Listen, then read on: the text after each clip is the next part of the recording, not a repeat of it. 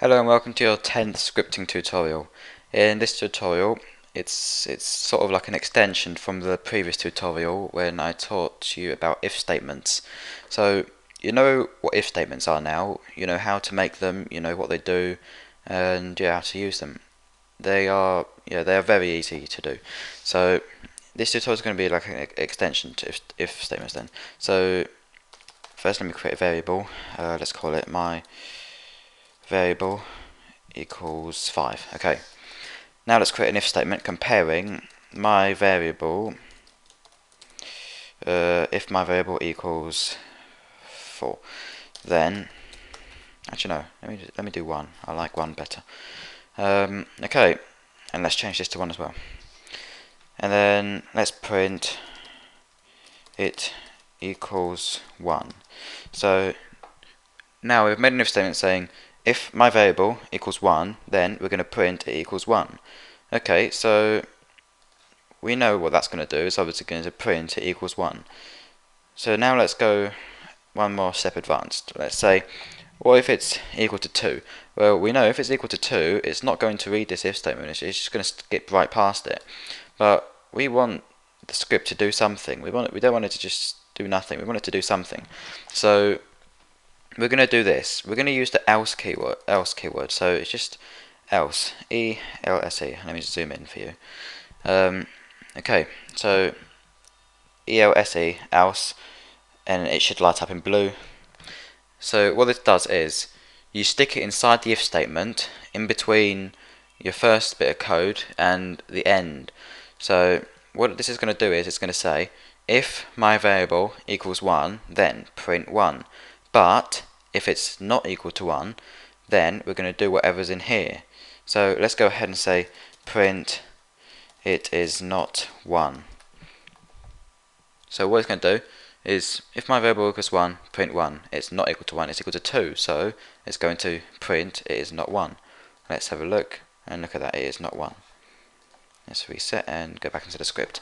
Okay, so again, very easy to use. It's just else else word. Um, you just stick it inside the if statement, and it's like a sort of default value, default sort of setting. If if this condition here is not true, then we're going to do whatever is inside the else section of the if statement. So um, let me teach you about conditions now. So up here, this is this is the con the, the condition. Uh, this is what we're testing. Um, basically, if this is equal to this, then the condition itself will be true. So whenever the condition is true, we will do whatever's inside the if statement in between then and else here. So we'll print it is equal to 1. But if the condition is false, as in if it's if this variable here is equal to anything else but 1, then it will skip straight to the else bit and it will print this. Now you don't have to have this else bit on if statement. You can just, if you don't want to have a default setting, just it's fine. Just take away the else. But if you do, um, if you if you want the script to do something, even if the variable is not equal to one, then else is the good thing to have on the if statement. Okay, so now we know how to use else. What about else if? This also lights up in blue and it's got the words else and it's got the word if in it which means it must be part of the if statement. So let's let me show you how to use the else if section. Let's take else away. Now let's put instead of else we'll put else if. Now this is like saying if my variable here is not equal to 1 we want to test it again. What if it's equal to 2 then now, it isn't that confusing. You just put, it's, it's still part of the same if statement, except you're testing the same variable twice. So, we're testing it up here, saying, alright, is it equal to 1? No, it's not equal to 1. Is it equal to 2? Yes, it is equal to 2. So, let's print it is 2. Okay, so now if we go ahead and press play, you should say it is 2 instead of skipping straight past it. I mean, even though we have tested it for 1, it's not equal to 1, we're not going to skip straight past the if statement. We're going to go to the else if section.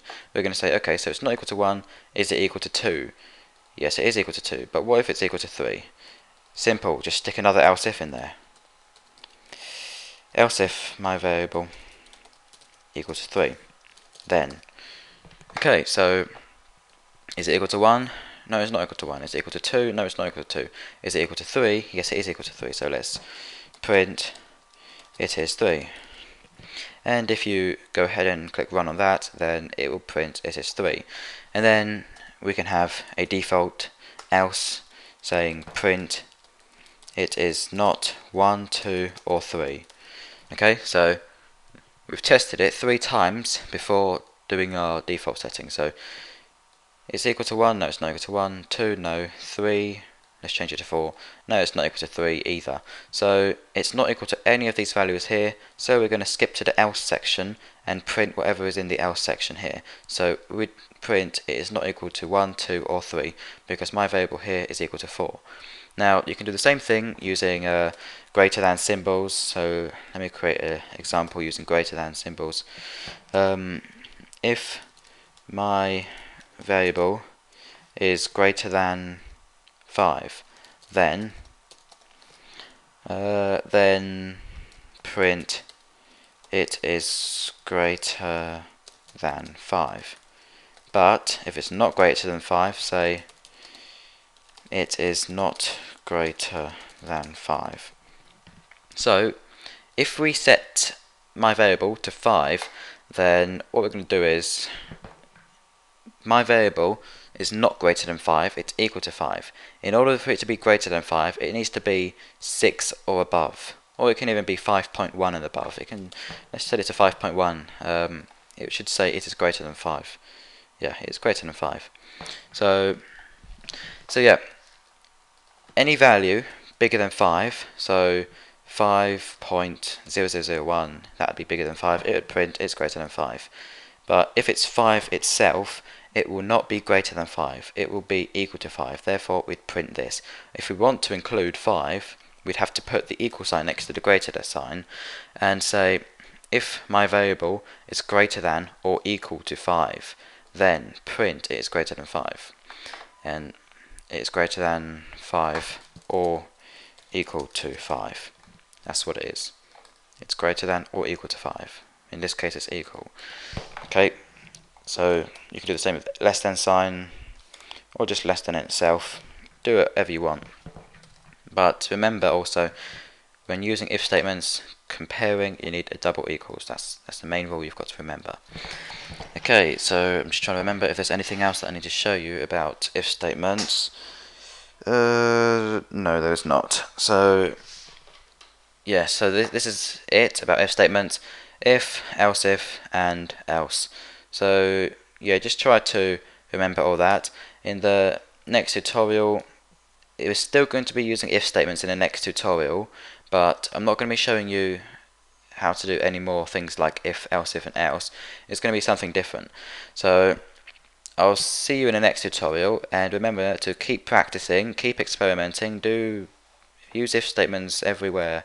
Um, so yeah, keep experimenting with it, and that's the only way you'll get better, by constantly practicing how to use if statements and everything else that I've taught you. Okay, so I'll see you in the next tutorial then. Bye.